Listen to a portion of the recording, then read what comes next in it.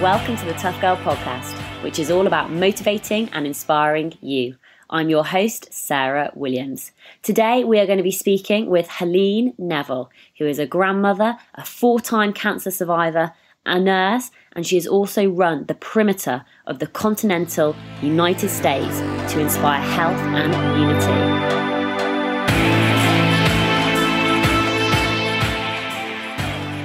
Helene, how are you? I'm fine. Thank you so much for inviting me on your wonderful show. Oh, you're welcome. Can you just tell our audiences where you where you're based at the moment? I live in Las Vegas, Nevada. Fantastic. And, and what's that like living over there? Crazy. Um, I love it. The the people outside, you know, once you're outside the strip, it's it's just like a community in every city, every state. So it's it's really nice this has just sort of blown my mind sort of hearing your story. You know you ran the perimeter of the continental united states. That's 9715 miles. Can you sort of tell our listeners sort of how this came about? Absolutely. Um, in 2010 i you know i had been working as a nurse since 1984 and i was approaching age 50 and thought, you know, what more could I do? I survived cancer, three brain surgeries, chemotherapy, radiation, and and I just kept going. And I thought, why don't I just sit down and inspire nurses, write my first book, Nurses in Shape, which is a kind of a fitness wellness book, to try to get nurses to become better ambassadors for health and then inspire that back into their community or their patients. So I wrote the book and thought, how could I get this message out to the millions of people? I came up with this idea. What if I just take the book and run with it literally on foot? In 2010, that's what I did. And I trained for about a year. I didn't know how I was going to do it, what was needed. I just knew why I was doing it. And that propelled me to get going. And all I saw were thousands of miles of the U.S. to cross and conquer. Gosh, let's just let's just go back a bit a bit more to what you said. So you were t- you were coming up to 50 years of age. You'd already had you know three brain surgeries, and you kept on going. What what kept you going? Well, in 1998, I was told to you know my immune system wasn't going to work properly, and basically go home and wait around to probably die. And to me, I just thought, you know, if that was true, what more could I do? I wanted to leave a big imprint, and my sons were quite young 11 and 13 and I just wanted to start creating positive memories every single day. So rather than sit home and wait, I literally left the hospital that day and went home and signed up for the Chicago Marathon. and how and how did that go? I ran six times. My longest run was six miles. And I thought, wow, maybe I overtrained. I ran that marathon. It was 77 days later from when the doctors said to, you know, go home and basically give up. And I ran it in four hours and 28 minutes. oh my goodness, that's fantastic. So you, you obviously, you know, you had your two sons and you wanted to create these positive memories. Why mm-hmm. did you choose running? Was, you, was that something that you'd always done or had been interested in? Well, I ran in high school, a little bit in college. I was pretty good, but you know, that was the 800 meters. I had never run probably longer than maybe 10 or 15 miles. I had no idea how long a marathon was. And to kind of measure that out, I packed my sons in the car and we drove 26 miles. And I thought, well, that's not too bad. And maybe it's the point two that gets people, but I just knew I wanted to do it. It was close. I was living in Iowa, and the Chicago Marathon was the closest marathon to Iowa, and I just wanted to do it. Good for you. And it's not just Chicago as well. You've run marathons sort of all over the, all yes. over America, including London, which actually was my favorite because of the fans. It was so unbelievable. London has an incredible atmosphere. Actually, all the way along is just constant cheering. Do you have a favourite part of the London Marathon? I think the Tower Bridge was fun, and we ran by Big Ben. Just eh, you know, it was flat and pretty much asphalt the whole way, and it was just. I think there were forty thousand people, and it was wonderful. Like you said, the atmosphere, it was just the camaraderie, the people cheering you on. That's what helped me. No, absolutely. I've, I've run London five times myself, and the two points that you've um, that you mentioned are absolutely my favourite. Coming into Tower Bridge, it just sort of blows my mind. For the first yeah. bit, it blows my mind, and then as soon as you cross over the bridge, um, you can see the other runners who are already they've already run like 14 miles ahead of you and they're running back down the other way. So that's a little bit depressing. But then coming up to Big Ben as well, you just know the the final 250 meters is coming up and that you're going to make it. You are going to get to the very end. So you've obviously had had this background in running, and you decided to write this book. So nurses in shape. When you were working as a nurse, were you still in shape, or were, were you struggling to balance having a full time job, looking after your children, and also you know doing fitness and exercise? No, I was always in shape, and I'm I'm kind of a small person, small frame. I was always in shape, and I just really wanted to inspire other nurses. We're on the front lines. Who better to inspire the health of the nation than nurses? We're just perfectly positioned, but yet nurses, I just felt really aren't that those great ambassadors of health to, to inspire that health in patients. You have to look and feel the part, really, to be able to teach your patients what to do. Absolutely, I couldn't agree more. I mean, I I have sort of certain unwritten rules. For example, if I'm listening to anybody um, who's give, who's someone who's trying to give me advice about, say, health or fitness, and I look at them and I think, well, actually, I I, I can't take advice from you just because I don't believe you know, I look at them as an as an example. I just uh, well, so what I was going to say is, um, I've had people who've come up to me before and said, "Oh, you know, I'd love to be your, your personal trainer. I'd love to help you out." And I've looked at them. I just thought, I don't, I don't want to look like you. That's you're not inspiring me. And the same goes, you know, for nurses. If you've got nurses telling you, you know, eat your uh, eat your five fruit and veg a day, and you know, be healthy and do exercise, and then you're looking at them and thinking, you're not taking your own advice here. So I do agree that you know they are on the front line, and America obviously has a massive problem with obesity, as does the UK and many Western countries at the moment. So, so you're trying to drive this this health initiative and, and drive this awareness.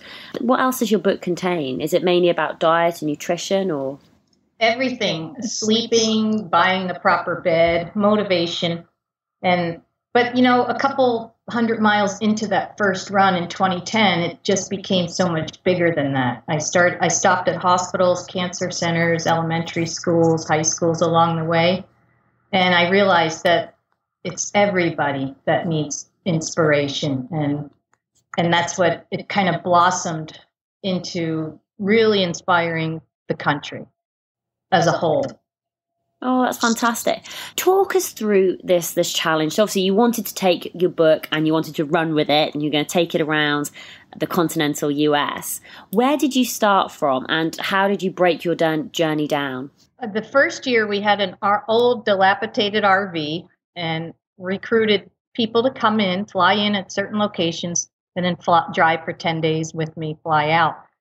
And literally, they would drop me on the highway.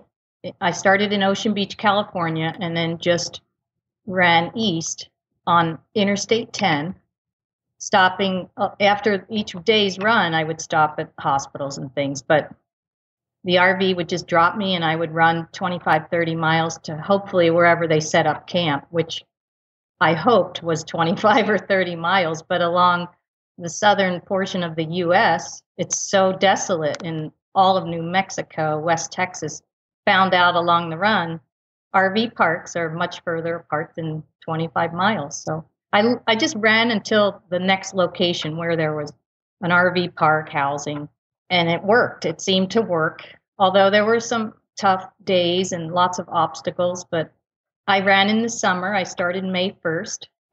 And of all the runners that have crossed America on foot along the southern route, only six prior to me had ever run across that route. And all were men and all did it in the winter. So, of course, I thought, well, I'm going to take it on in the summer. and so I was the first person that ever crossed the U.S along the south in the summer, and it was hot. I can imagine it. You you mentioned about the tough days. What were the, what were the toughest days? What made them so tough? Just being out there all alone on the highways of America with literally, I mean, imagine running 25 miles or more every single day, all alone, with everything you need to survive for that day on your back. And and it's just it was grueling. It was just grueling, and each day presented its own issues, whether it was you know the terrain or the the climate, of course, the weather. It was one day my the sole of my shoe melted off. It was so hot, but you just keep going. You keep finding a way to get over that mountain, under it, through it. Somehow you have to keep going, and staying out there was is the toughest part. Hugely challenging both physically and mentally. So in, in terms of the, the mental side of things how did you keep yourself going? What we what sort of things were you saying to yourself?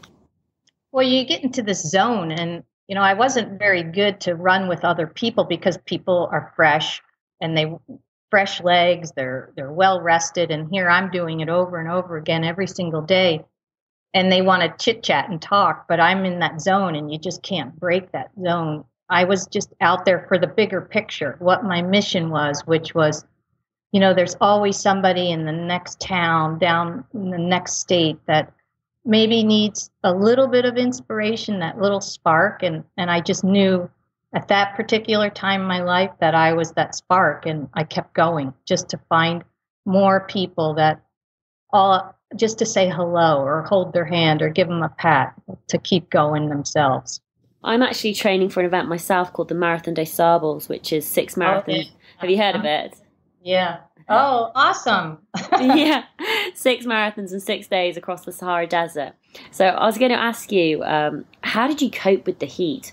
So obviously you mentioned, you know, six um, six guys had done it before, all through winter, and you so far have been the only woman to take this this you know run the southern U.S. during the summer. It's incredibly hot down there when you're crossing through sort of places like Texas. How did you cope with that heat? Well, I thought I was uniquely qualified because nursing, you know, we have that knowledge of intake versus output. So I had that covered.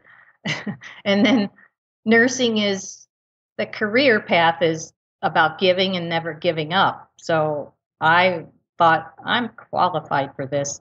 But I love the heat. I trained in Arizona, which is dry heat, not much humidity. And it was tough as once I hit Texas where the humidity was pretty um, pretty hard and harsh. I just kept going and um, just it's a lot of um, balancing your fluids. Were Were you taking salt tablets as well?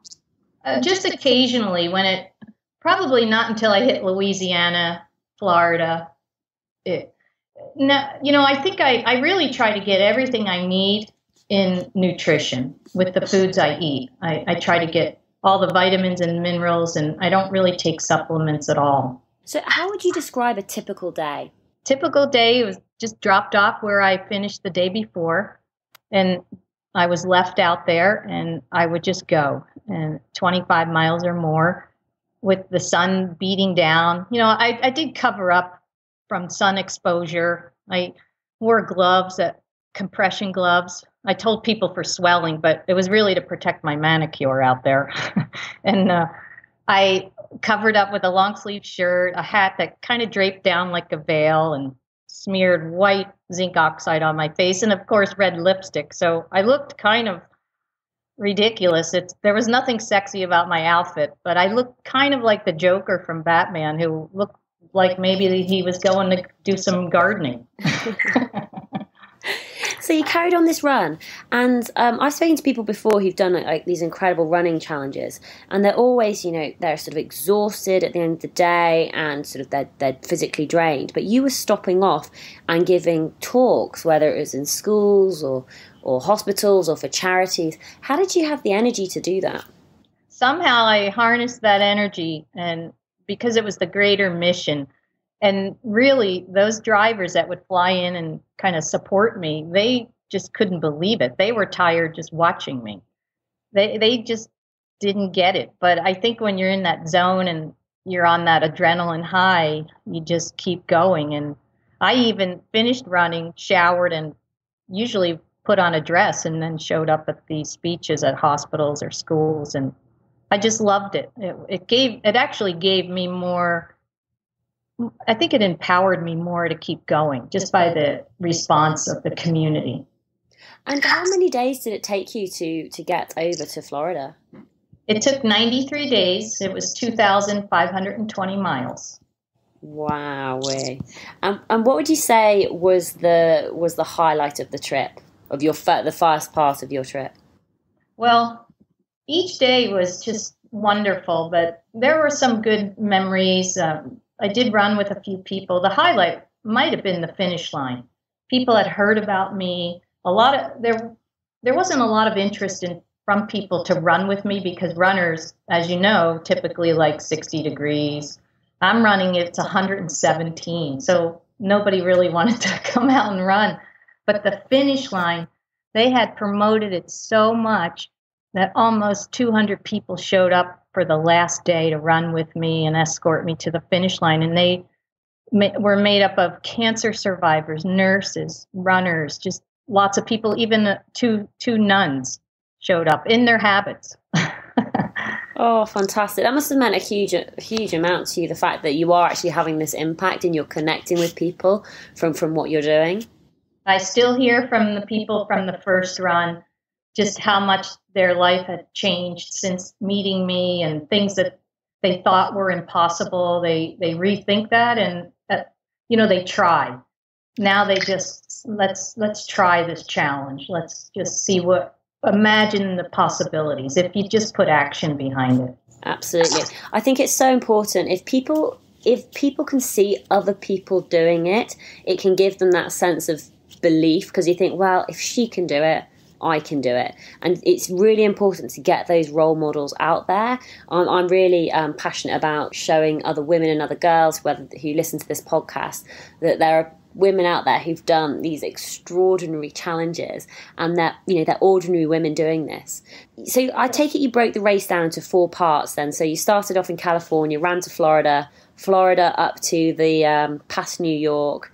Where would that take you to after the 2010 run, I knew I wanted to keep going because the journey never ends. And I'm so glad you mentioned about people seeing you out there and they get inspired.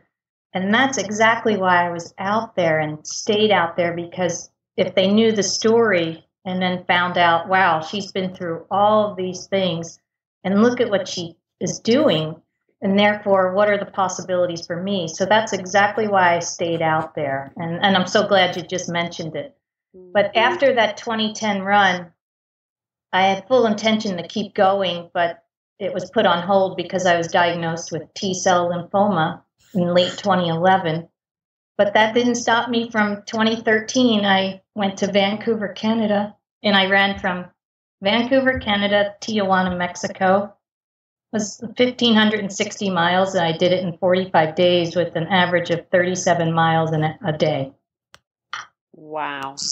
but in addition to that, right before that run, and I had just finished chemo a couple months prior, my 56 year old brother passed away. He was a fabulous guitar player. And I carried his urn filled with his ashes, which was about 26 pounds, in my backpack, and he ran with me. Oh, that's lovely. When did were you taking him to a special place? I couldn't decide what to do.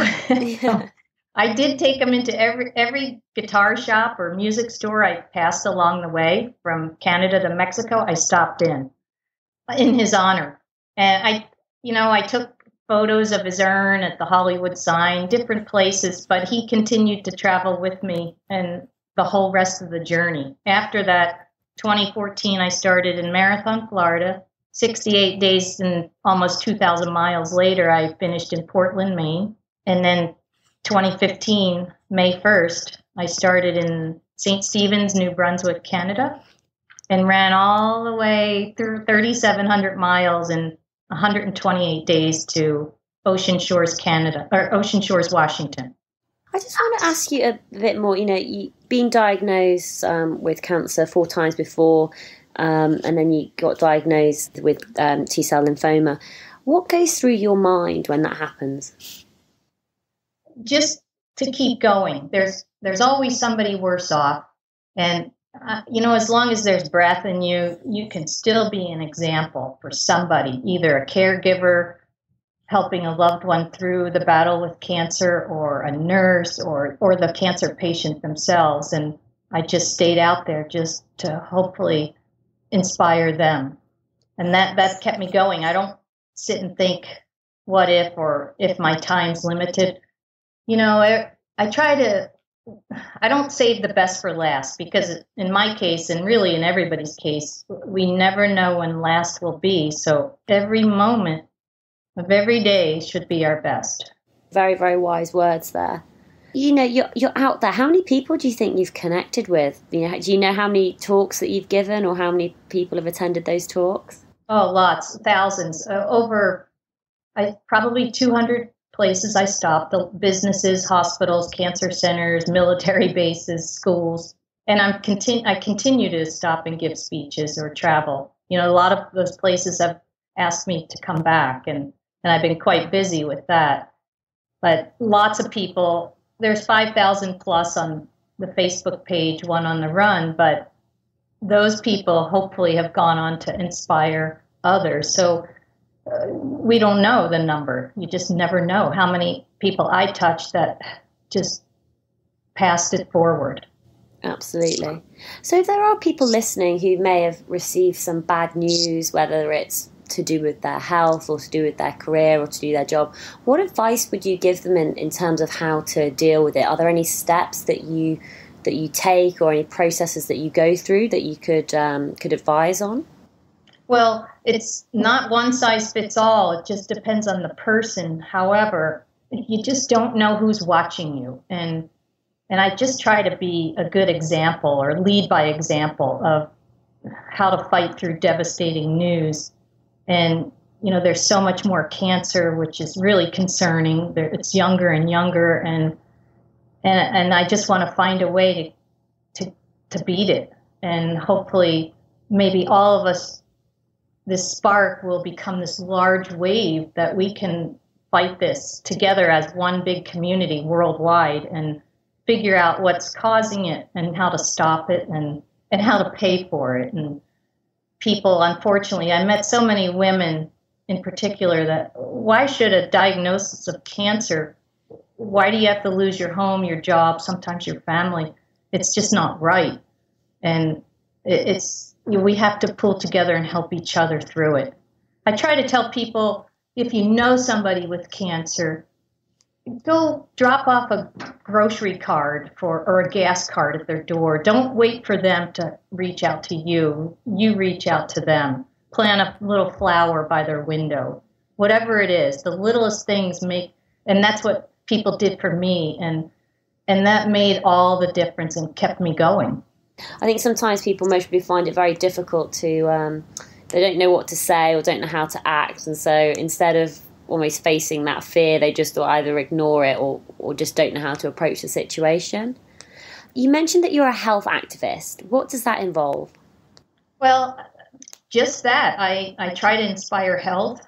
For me, what worked for me, you know, in 98, I took on Chicago Marathon. Then I entered a couple bodybuilding competitions. Everything they told me I couldn't do, I tried. I I climbed mountains and, and I just kept running from cancer. I had a lot of setbacks, but I kept going. And but the thing that really helped me, I believe, when I took on bodybuilding, I learned so much more about nutrition and detoxing my body.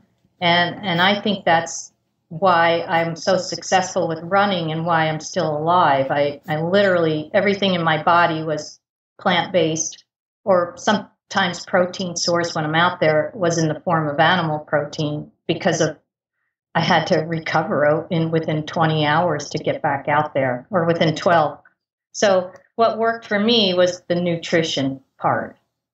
So you mentioned about detoxing the body. What advice can you expand on that a bit more? I I teach juicing classes and I really truly believe in it. It's all about plants and you know the kale, all the dark greens, which which has all the minerals, vitamins, everything we need. And I, I think it I think it worked and it helped for me. What would be your top three health tips for our listeners? If it was made in a plant, don't eat it. If it comes from a plant, absolutely eat it. I like that. and, and you know, people say motivation doesn't last. Well, neither does bathing, and that's why we recommend it daily. and I, what I tell kids and what I tell nurses and just the general public is we're the only one, me, you, qualified to be you and just be your best you that you can be. And every day you might have to rethink impossible, which is kind of my tagline whether it's getting off the couch or changing one thing in your diet or you know you fail a test well you come right back stronger? Because you're the only one that can do it. So what is next for you then? What's going to be your next challenge? Well i actually go to the mayo clinic this coming week in um, minnesota. And just to get a checkup make sure everything's going well. I'd like to run 150 consecutive miles on the Las Vegas Strip, back and forth about 27 times. And I picked 150 because there's a project here, one project 150, which feeds homeless high school students, and I'm going to try to raise money for that. And so, but how do you top the perimeter? I mean, you know, the totality of something like that is just mind-boggling. From after the first run, we ditched the RV because it was hard to recruit drivers. The gas cost was astronomical. And then I did the last three legs solo, underfunded. I, I didn't have any monetary sponsors, and I just relied on selling books and shirt, t-shirts, and and the community. I couch surfed, and it was so amazing. And people always ask, well, how do you describe your run? And and the word that comes to mind is beautiful, but not beautiful meaning the scenery, but beautiful that display of humanity from people. And the more I ran, the more I found out how much more right there is with our world than I ever imagined. Could you expand on that a bit more? People came out and helped. They opened their homes to me. I was a, really, I'm just a stranger running by their town or running through their town. And they wanted to help. They wanted to help me get to the finish even though I ran on foot alone, when I crossed that finish line, I brought everybody with me. You did, and inspired people all over America, and now inspiring people on the Tough Girl podcast. I know, I'm so excited. so, if people want to connect with you on Twitter, what is your Twitter handle?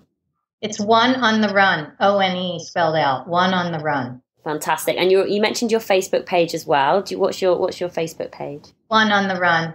Oh, awesome. So you make it super easy. What I'll do is I'll make sure I'll put all of this information in the show notes, which will be available on toughgirlchallenges.com on the blog. And there will be links to her to Helene's Twitter account, to Helene's Facebook page, and I'll also put the. Is there a link as well for Project 150 where people can sponsor you? I, yes, there is, and I can send that to you. Fantastic. We'll put that on there as well. Helene, absolutely staggering what you've done running mm. around the perimeter of the continental United States to inspire health and unity. And I think you've done that. I know you've got um, your book as well, Nurses in Shape. I, am assuming you don't have to be a nurse to read the book, or, or is it aimed specifically at nurses? No, it's for everyone. And actually, I, I have four books already out. I write a book each leg, or I wrote a book each leg of the run. And it's really about all the wonderful people I met and it, it may become a movie in a couple of years. Fantastic! Watch this space. it would make it would make a great movie. Helene, thank you so much for being on the Tough Girl podcast. It's been absolutely amazing hearing about your story and all of the different challenges and the good that you're doing in the world in terms of motivating and inspiring other people to think about their health and to think about what they could do next. You've obviously faced huge personal challenges yourself, but you've never given up. And I think that's a really key message to, to give out to all our listeners. So, no matter what is happening in your life, you can keep moving forward and you can take positive action. So, Helene, thank you so much for being on the podcast. It's been thank great talking to you today. Good luck to you and your run. Thank you. Hope you enjoyed that episode. What an incredible achievement running around the whole perimeter of the continental United States Wow. And if you love your running, um, go back and listen to previous episodes of the Tough Girl podcast. We've got some incredible women runners who've done some amazing feats. Amy Hughes ran 53 marathons in 53 days, Emma Timmis, who ran across Africa, Elizabeth Barnes, the MDS winner of 2015. We've got Mimi Anderson, who's just this phenomenal runner and world record holder, Susie Chan, Ali Young, Ari Beresford Webb, who, if you remember, ran around the perimeter of Wales. So, loads and loads of inspirational ladies on the Tough Girl podcast. So, do go back out and check um, previous episodes out. I'm sure you'll absolutely enjoy them. I don't know about you, but if I'm going out for a long run, then listening to podcasts on the run is just an absolute godsend. It really helps me to maintain my pace listening to stories or listening to interviews just helps to sort of distract you and to take your mind off things, especially for those really, really long distances. So if you normally run listening to music, then give it a change and try and listen to a podcast while you run and just see how, see if you like it or not. It's always worthwhile trying out different things to see if it helps to improve your your tempo or your speed. Um, just to mention as well is I'm always looking for feedback on the Tough Girl podcast. If you like what I'm doing, then please let me know if there's something you want me to change. If um, if you've got any feedback about my questioning or my interview style, or if you want to, me to ask more specific questions, then please do let me know. I would love to get your feedback. So please send me an email, sarah at toughgirlchallenges.com.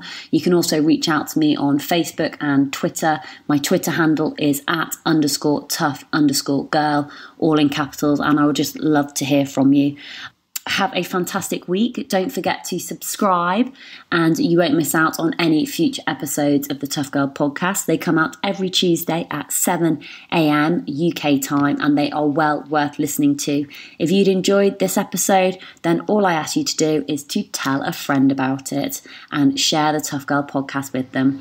Hope all of your training is going well, and I'll speak to you soon. Take care. Bye bye.